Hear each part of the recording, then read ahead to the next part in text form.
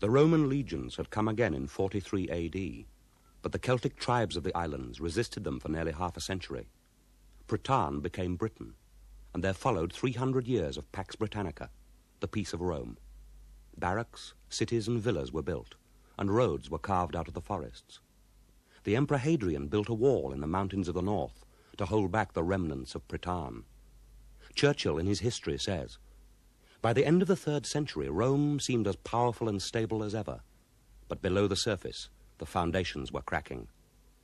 About the year 400 AD, the Roman Empire had grown too large, and the dispirited Romans now left in Britain were no match for the barbarian hordes which swept across Europe and into the island province.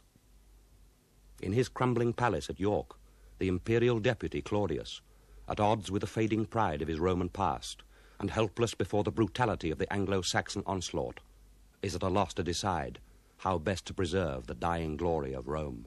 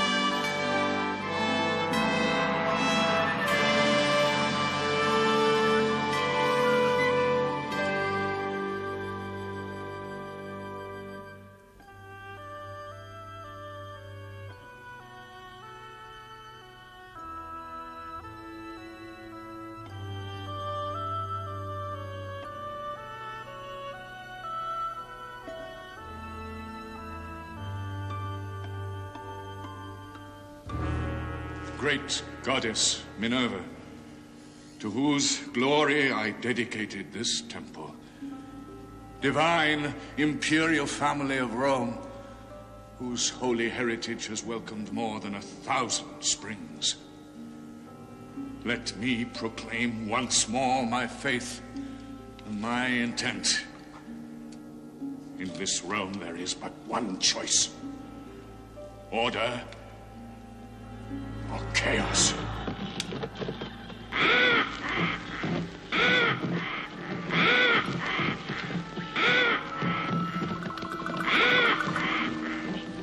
This limb of Rome, Britannia, shall not be sacrificed to the ambitious lusts of savages.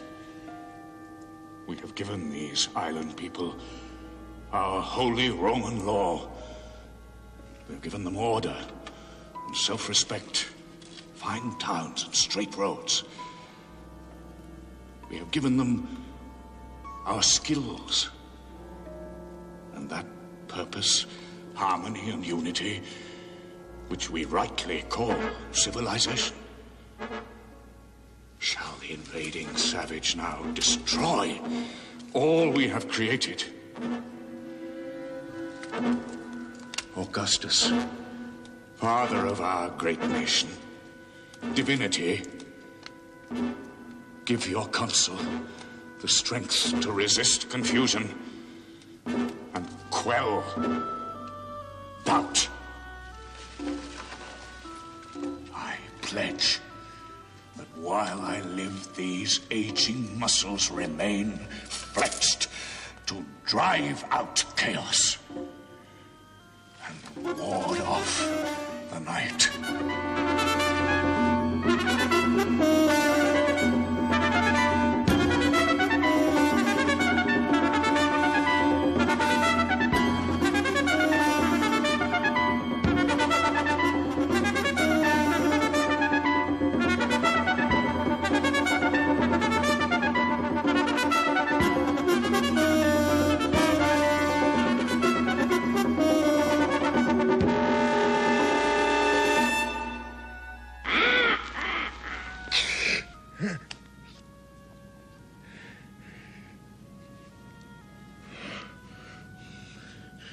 eyes.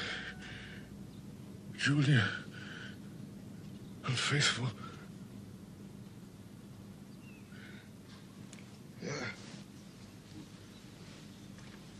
Oh, how pitiful that I, Tiberius Claudius Cogidubnus, imperial deputy, governor of York, ex-commander of an undefeated legion, wake once more to echoing terrors. Am I worthy of Julia's fidelity? Or of my son's respect? Was I wise to marry again? A Roman lady, still young and fired by youth's urgencies. How much I must conceal.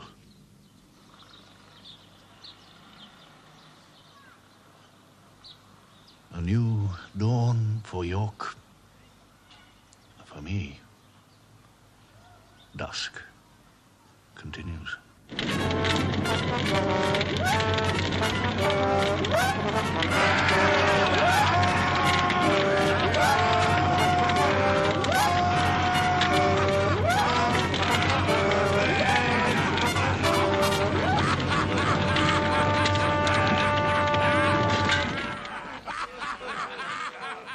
Oh, lucky man that I am this day. The divine spirits may grant me a son. Oh, fortunate Rufus. But for my lord's kind heart, I too would be toiling away like those dumb brutes. And soon I shall have more. My freedom. No slacking there. Stoke the fires. Here, you. Old man, come here. Come here. Why do you work without zeal or joy, eh? As if you had no knowledge of your honour. Look, these vents and pipes and funnels. Can't your mind admit your privilege? Have you no thought of where they lead to? Look, there's one fire. Yes. The furnace you are stoking provides the heat and comfort for our high masters' every room. Yes, one fire stoking every floor and every corner of every floor. That's science, old man, that. The wisdom of our rulers. No wonder we in Britain are the envy of the invading hordes. A thousand years of Roman enterprise at our disposal. Yeah. So, back to your work, old man. Here. And smile. We, you and me, certainly have no cause to scowl. I shall have a son. I shall. I shall have freedom to marry the mother of my children. And an oyster stall in the marketplace. And trade. And a slave of my own. Own oyster shop. Rufus et Filius. Rufus et Filius.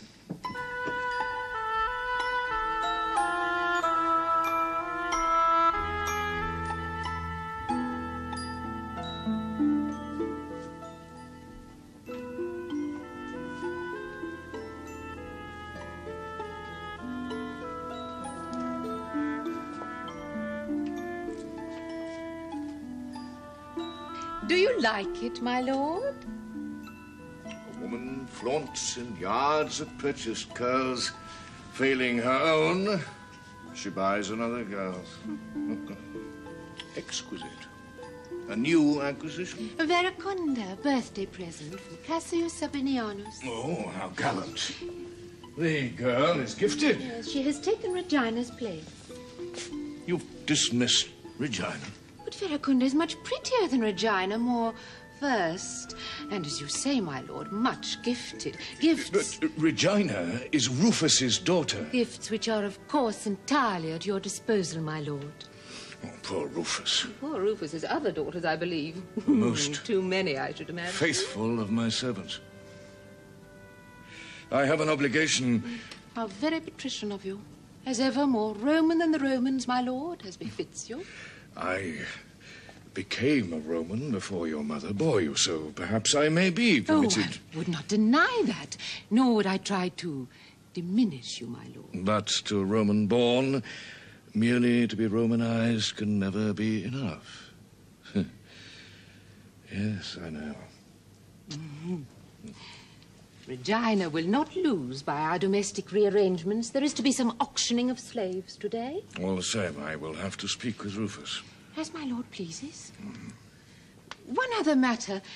Do you consider it appropriate that Flavius should seek no other company than that insolent monk? Viventius? He is my son's tutor. Arrogance posing as humility, a typical Christian. Oh, our emperor himself is now a Christian, my dear. Passing fashion, surely, or political expediency. Hmm, it's not for me to decry political expediency, were it not for that emperor whose name I proudly bear, requiring a Roman victory, this island would still be a land of painted savages. I would not presume to argue such matters with my lord. I thought the monk's tales amused you, Julia. Uh, almost as much as your frequent visits to the theater. Girl, a mirror here. But uh, are the monks' entertainments suitable schooling for the governor's heir? No, this strand, here a little more to the left. However, Flavius is your son, not mine. All the same, I am much moved by your concern, my dear. And I by yours, my lord. Verecunda, do play another tune, but a less melancholy one. Bring a sparkle to your master's eyes. If I found rumor confirmed that she betrays me with a mere actor,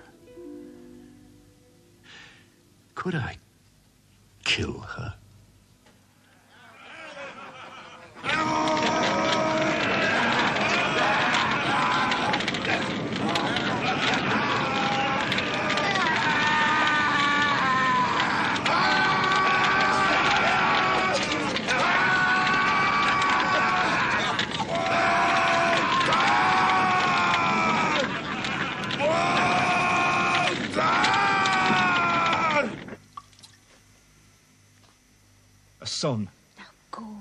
Today. Our master must not wait. Aye, but a son. Oh, yes, if the mountain spirits will it. The pain.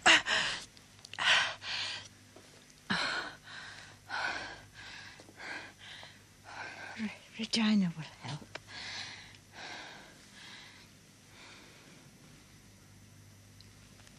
Why, Regina? Why are you not attending the Lady Julia, daughter?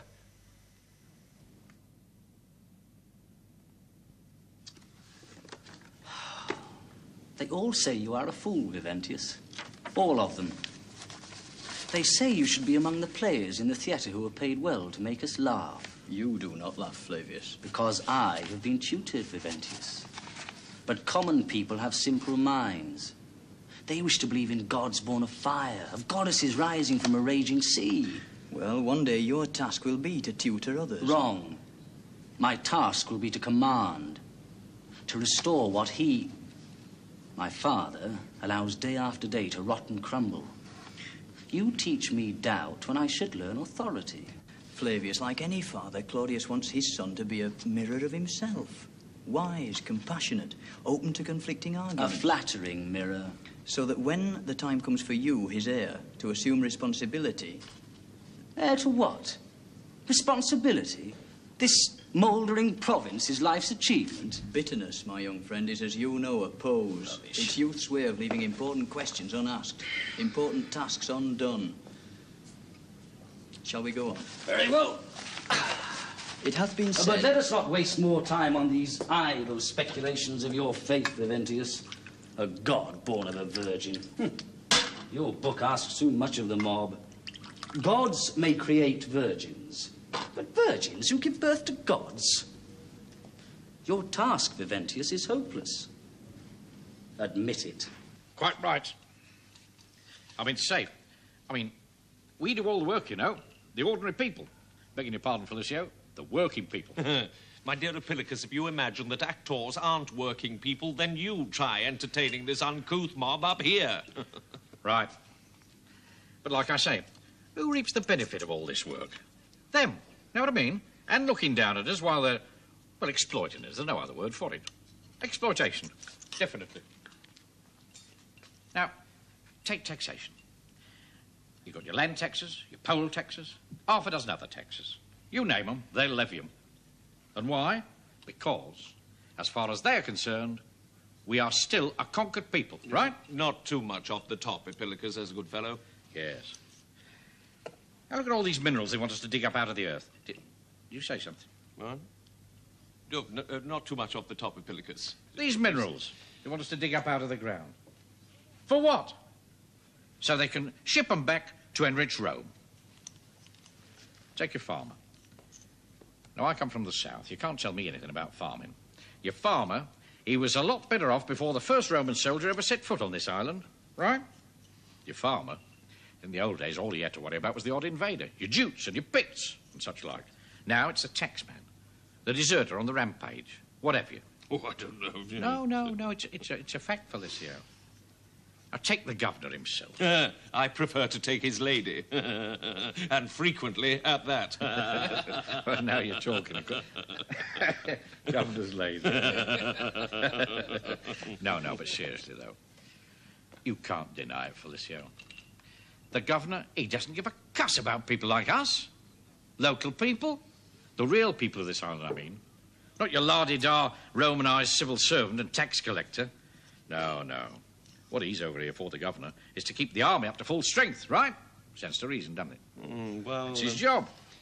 I've heard it rumoured in, uh, in high places that the Saxons have entrenched themselves on the coastal towns and that the Picts have breached the wall in a dozen different places this year. The wall? Oh, jeez. Don't talk to me about the bloody wall. Crumbling masonry and souvenir shops. Have you seen it? I've been there. A national disgrace. and as for these so-called invaders they talk about, well, we've heard all that before, haven't we, eh? Barbarians and savages, looting, murdering, raping all the women, eh? oh, yes. If they want us to go on coughing up these taxes, they've got to keep these atrocity stories going, haven't they? Well, that's colonialism for you. You mark my words, if they can't make this province pay, they'll be out of Britannia quick as a flash. Right. And meanwhile, it's mosaics and murals and central heating and bathrooms for the rich, isn't it? And the rest of us can fight over the leavings. Oh, no, no, no, Felicity. The fact is, they don't know what to do with this country anymore. Not anymore. They've been stuck with Britannia for 300 years now, and they haven't a notion what to do with it. No idea. No idea at all. Uh, Why does the Emperor continue to say nothing? Rome has decided. I have today received this message from the Emperor. The Senate is sending no more troops. It seems Britannia is expendable.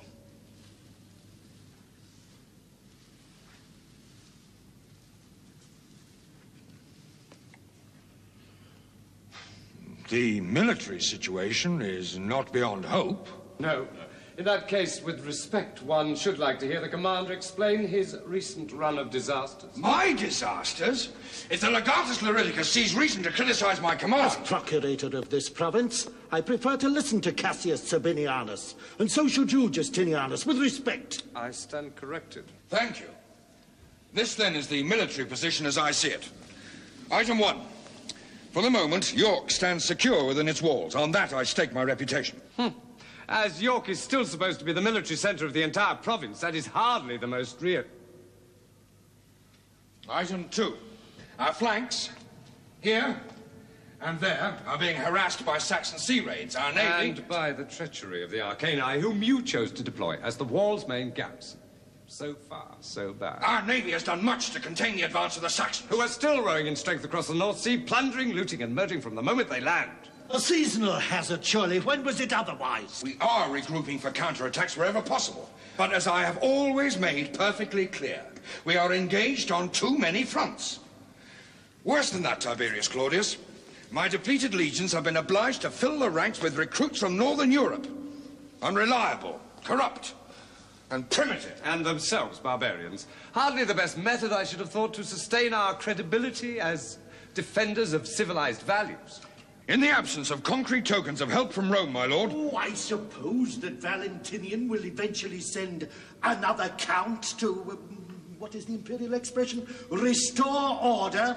Oh, he'll repair the wall in a few places, launch a couple of offensives, erect a few quite useless towers, and eventually return to Rome in time. To be rewarded with a gold medal and a new villa, quite.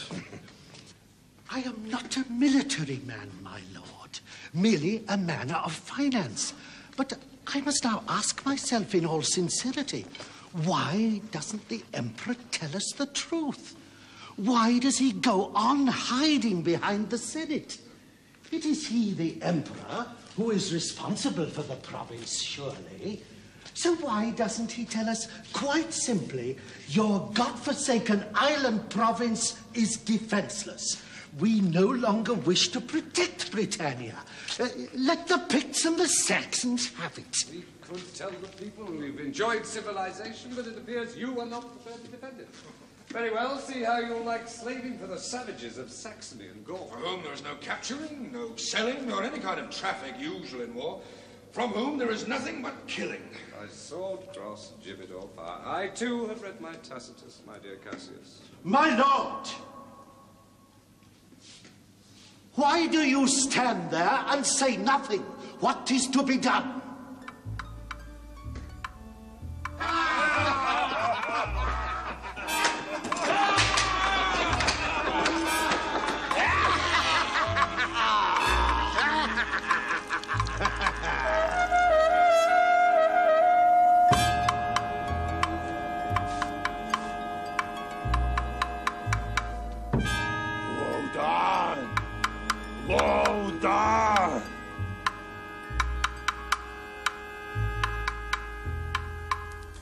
Of Britannia is neither a military nor, in essence, a political problem.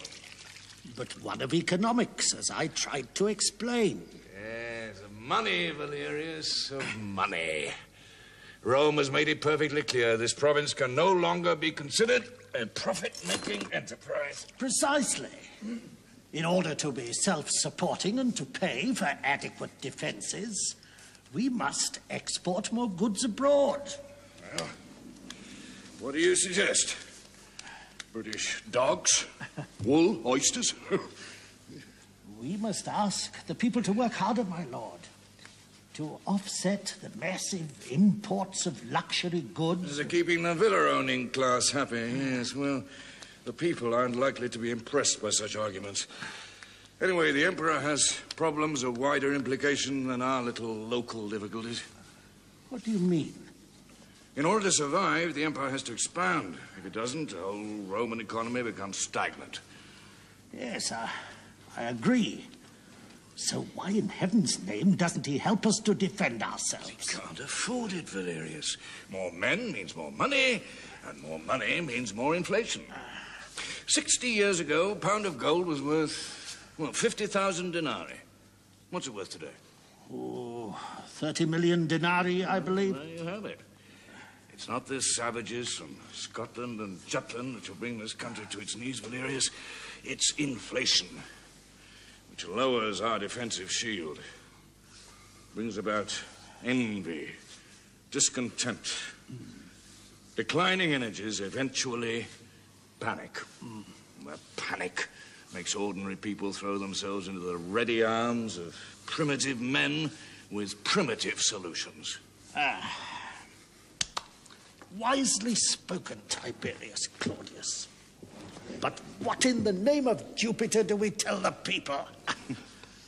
Well, they don't want a history lesson or a dissertation on economics, that's for sure. They want what they've always wanted pomp and optimism, simple military solution, rivers of blood, and promises of plenty the day after tomorrow. One thing the people must never be told, for their own good, my lord, that the more clearly good leaders see the complexity of the problem, the less likelihood there is of their finding a solution.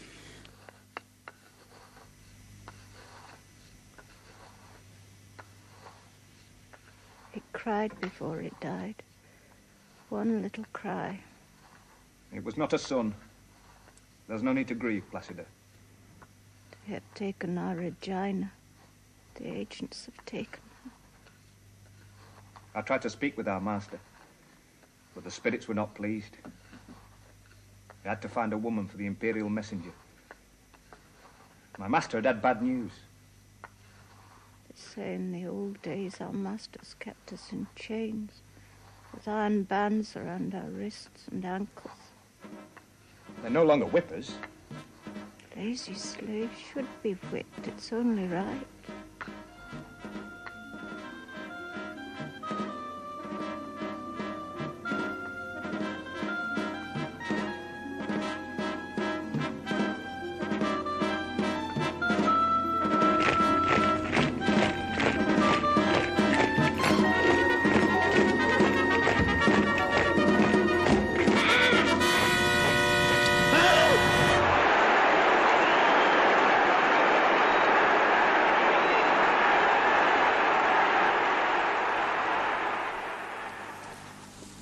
By step, our people have been led by their Roman masters to practices which dispose to vice.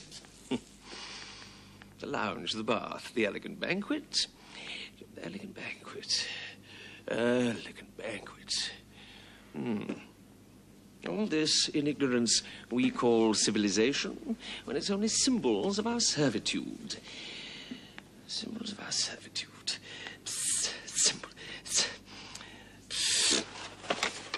Heaven only knows why they want to revive this rubbish. Don't they realize that nothing dates as quickly as satire? I ask you, has there ever been so rich a crop of vices? When has the purse of greed yawned wider? When was gambling more frantic than it is today? Eh? Is it not plain lunacy to lose 10,000 at the turn of a dice? Yet grudge a. a shirt to your. Uh, to your. Shivering slave. to your shivering slave. Which of your grandfathers would have built himself so many country houses or dined off seven courses, eh? Oh, yes. The upper ten are scrounging with the rest. The praetor first, and then the tribune, and we look on. And still, it is wealth, not God, which compels our deepest reverence. I really have to get this stuff rewritten. I've played York before. I'll die the death. I'm a Jupiter! Woden! Warrior of this land! Not slave! Lord of this land! Woden! Ye have heard that it hath been said, An eye for an eye, and a tooth for a tooth. But I say unto you, that ye resist not evil. But whosoever shall smite thee on thy right cheek, turn to him the other also. And if any man shall take thee to the law and take away thy coat, let him have thy cloak also. And whosoever shall compel thee to go with him a mile, go with him twain. Give to him that ask of thee, and from him that would borrow of thee, turn not thou away. A private matter, my lord. If it be your pleasure, may I now speak with you? Give uh, the Viventius some wine, Rufus, and uh, water it well. And you, my Lord Tiberius Claudius, actually give credence to such subversive provocation? Oh, but charming provocation, surely. The monk's tales would seem to amuse our lord. I find them boring and repetitive. I dare say one must keep up with the times. I must confess I find the tales have beauty, grace, and symmetry. But they don't even rhyme, my lord. What would your soldiers make of these fanciful stories, Cassius Sabinianus? Hmm? they would regard them for what they are. A license for disobedience, immorality, and cowardice. Uh, forgive me, Viventius, but I cannot believe that slaves and soldiers will ever lend their ears to exhortations to desert. for that surely is what your tales amount to. Well said, young Flavius. For 60 years or more, ever since Constantine was hmm, converted, the words of the disciples of that pretentious rabbi have weakened all resolve in Rome. Oh, come now. Rome is surely strong enough to withstand the assault of words from a clownish monk or two. Rufus, more wine. And let us not forget, our marauding enemies are rivals for Britannia's spoils. They may well slaughter one another before they menace us. Rome will survive. My lord agrees. Of course, Cassius. Of course. Do you, Viventius? All empires must end in dust and desolation to be succeeded by others. Yes. All else is vanity. Indeed. Then who will rule the world after Rome? Picts, Saxons, Christians? oh, what a delightful prospect. How can word spinning and merely mouth good intentions ever hope to conquer an empire such as Rome? Mm. We do not aim to conquer. No. Merely to seduce, and in turn reduce. Whatever one's personal beliefs, a country must have law and order, and we have given these to the world. We found a savage island and gave it civilization. And even freedom of religious expression, Justinianus. Oh, a terrible burden for ordinary people. A license for doubt and confusion. Quite. Some of your officers still worship at the shrine And your of slaves Mithras. still put their faith in the supernatural powers of pigs and snakes. Ah. Where common folk is concerned, one superstition will do as well as another, as long as the result is obedience to authority. Exactly. Arg- argue with that, Viventius. Gladly. Man's only true law is reason. To fulfill one's obligations, to deter others from doing wrong. The validity of reason is immutable and eternal. Ah, yes. The same poetic whimsy by which the crucified carpenter managed to delude a few Hebrews. We free! What is going on out there? We are at lunch. Forgive me, Cassius Sabinianus. I wasn't recalling the words of Jesus Christ, but those of Cicero, a Roman politician. Yes, and we all know what happened to him. the fact that Cicero was put to death wouldn't necessarily invalidate his argument. What is it, Rufus? My lord, they brought a prisoner. Prisoner? Here? A wounded Saxon chieftain, my lord. Ooh, barbarians for dessert.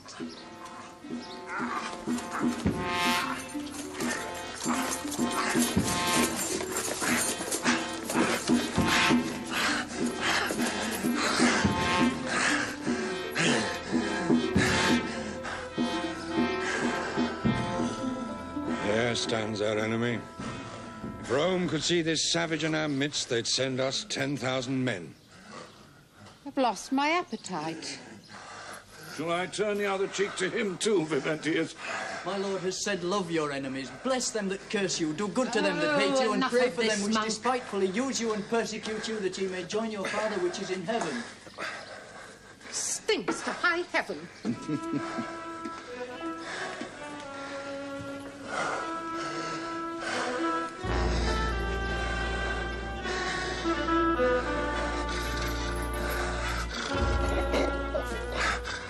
Is this to be your heritage, Britannia?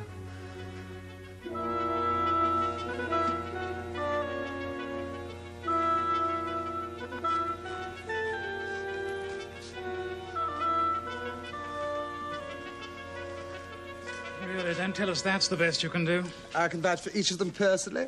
Medically examined every one of them myself. Yes, well, I've heard all that before. Let's look at their hands for a start. Come on, hands. What a place to do business. I can scarcely hear myself think.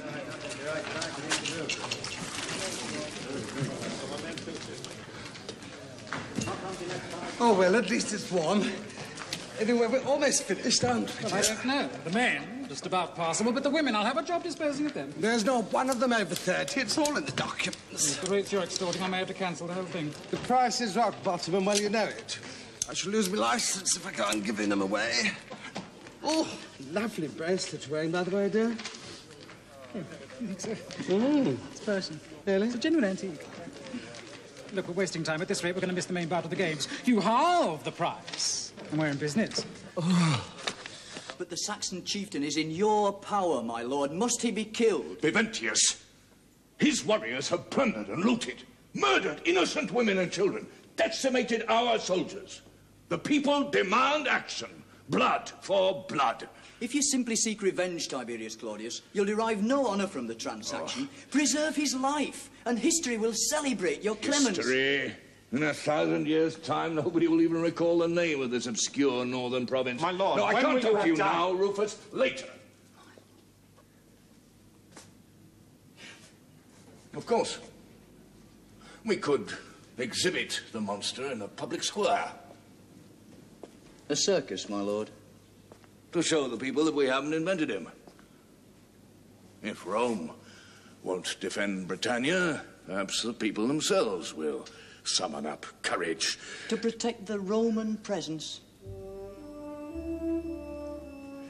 to protect themselves. Viventius.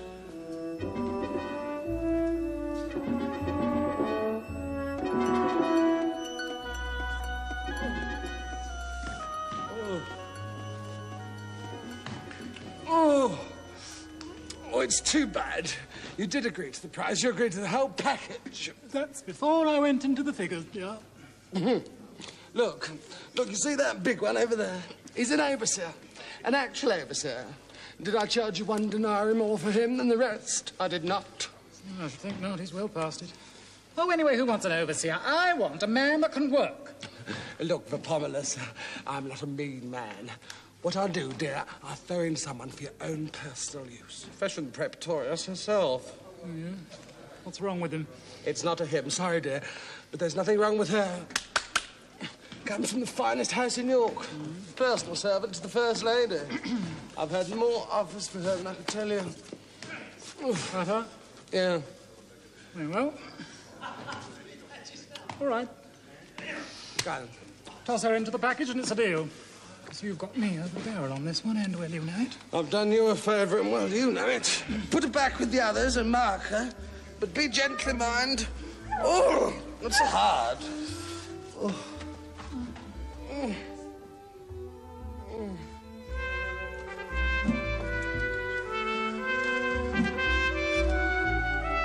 I no longer understand the world, Viventius.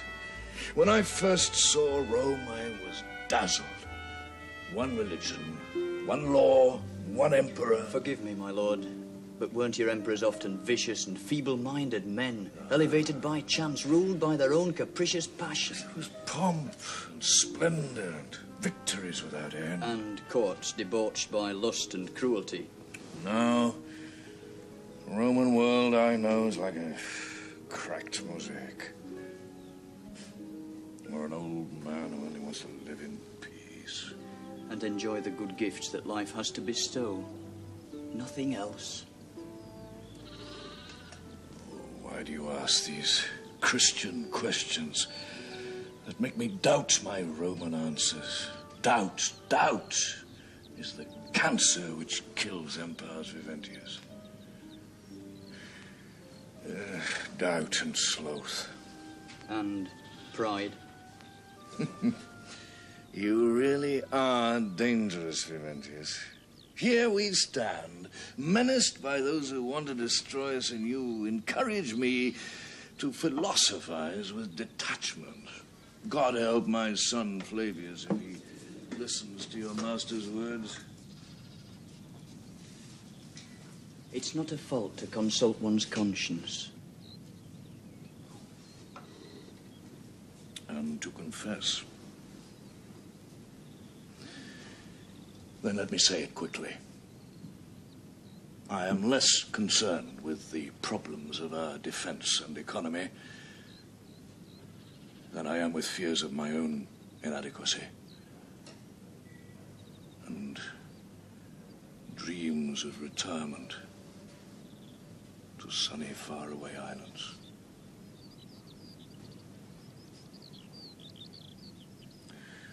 Absurd.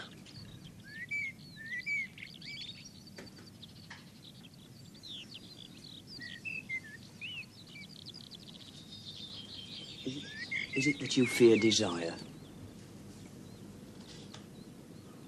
Hmm. I fear the lack of it, monk.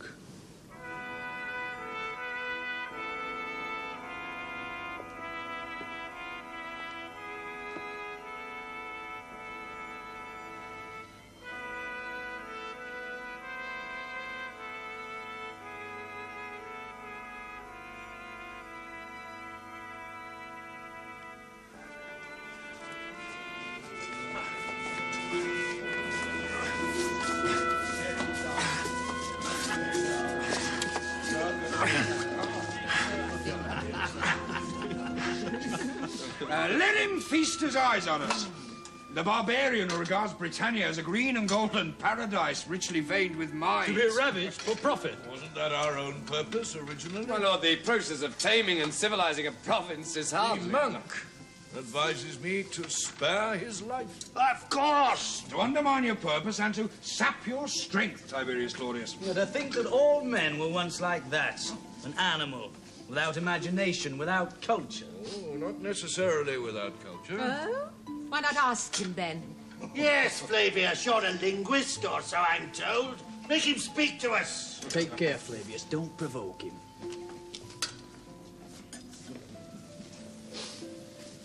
Is there a Christian law against questioning a murderer? Merely against baiting a human being. Tell us, Saxon. What is your name? What is your purpose?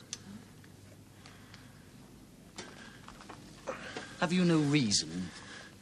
No gestures? Are you man or animal? You're an ill-matched pair, my son. Sit down. His name, his name is Nordifider. That much our uh, interrogators have already established. And his purpose to destroy us.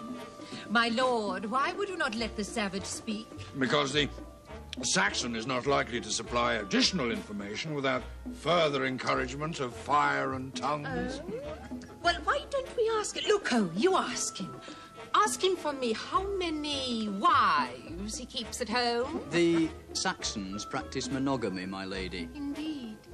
Oh, indeed. They place great store by chastity, my dear. Uh, like the Christians. Oh, more so. They punish adultery with death. Really? Then we must put his steadfastness to the test. Verecunda, approach our guest. Excellent sport. The beauty and the beast. Better than a circus. Come, Verecunda, you are hardly without protection here. Go on, girl. Go on. Now, look at him. Now, free his hands.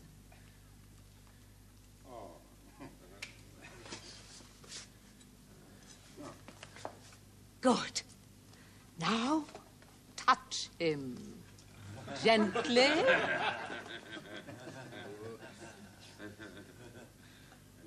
Nothing. Nothing at all. Wait. I have an idea. Rufus. You try. He may feel more at home with you.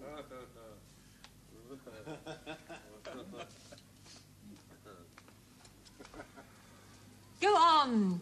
Stroke his belly, Rufus. Viventius, why don't you intercede? He may, in the circumstances, respond to a man of peace.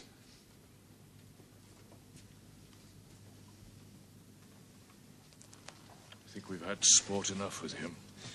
Might he not respond to your poetic talks, Viventius? I agree with Tiberius Claudius. What's the point of playing games of cat and mouse with this prisoner? Because the power of his presence can deceive Monk. Because he appears to acknowledge our superiority. By the dignity of his silence. Very well, then. I shall leave the Saxon to the mercy of your arguments, gentlemen. I'm late for the theatre as it is. Hasn't there been theatre enough for you here, my dear? Flavius, will you accompany me?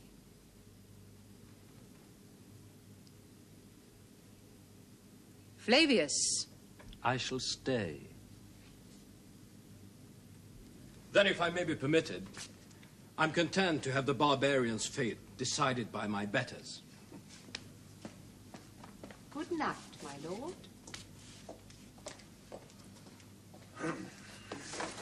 Rufus, come. Serve us more wine. What's the matter, man?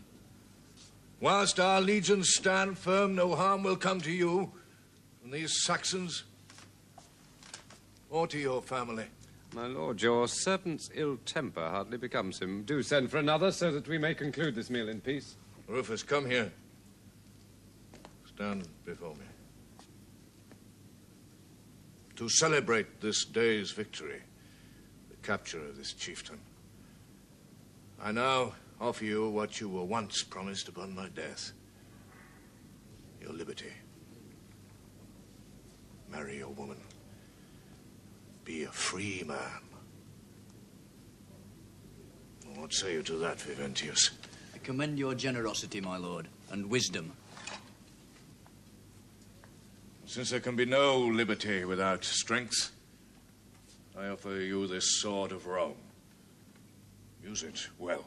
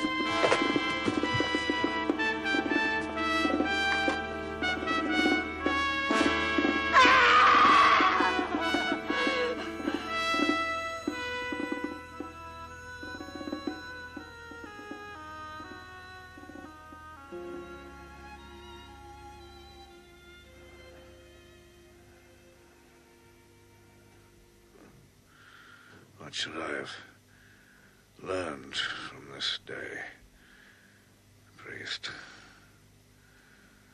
To love my enemy like my brother.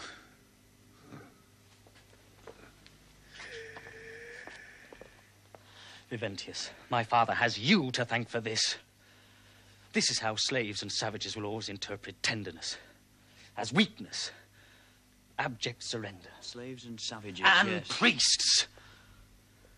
Wild beasts are not more cruel than your Christians when they defend their faith. Your father's suffering. Flavius, make sure they found the Lady Julia.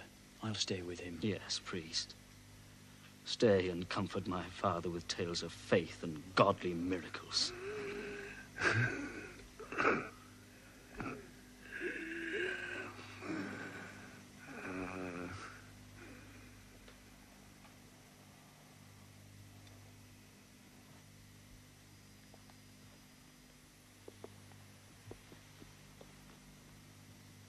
Henceforth, look not to me for your protection.